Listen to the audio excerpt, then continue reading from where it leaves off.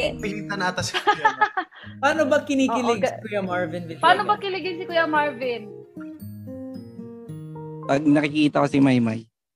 Ay! Hoy, Alam mo, may may. Back to you. Okay na po, thank you. Kuya Mar. Yan yung tunay na... Kuya, mag-topsy ka. Well, thank you muli, Kuya Marvin. Marvin. Thank you. Thank you po. Alright. Nadamay pa ako. Ganda mo kasi. Okay. Yes, Shania Gomez. Uh, Maymay, if you had something that you want to say sa 12-year-old self mo, ano ba yung Ayan. sasabihin? Gusto ko yan. Habang kumakain ako. Okay.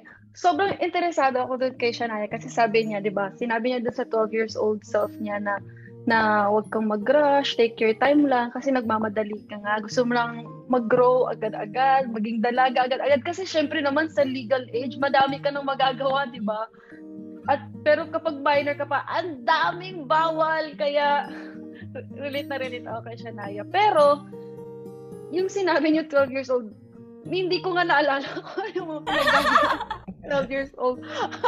Kung ako, feeling ko, naglalaro pa rin ako niya. And uh, parang sobrang bata. Yung never ako, never nasa isip ko na, ah, gusto ko magmadali. Nung time na yan, ah, yung 12 years old ako. Siguro nung time na nag-isip ako na gusto ko mag-grow, siguro mga na 6, na mga 16 na yata, o yung kagaya kay Shania na, ano, yung edad niya ngayon.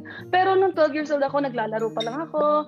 Um, sige, ang sasabihin ko sa kanya, May, take, um, okay lang niya, maglaro ka pa ng maglaro. Um, wag ka, wag kang mapapadala sa mga iba mong classmate na may mga jowa na. Kasi sobrang strict ni Papa Joy, bawal mag-jowa. Tapos, um, study pa more kasi parang laro ka na lang na laro. Tingnan mo naman yung mga grades mo. At syempre, importante naman doon ay wag mong walain yung yung magic na meron sa iyo na lagi mong pipiliin na maging masaya na hanggang ngayon ay andun pa rin naman. So yun. Ikaw naman, Edward.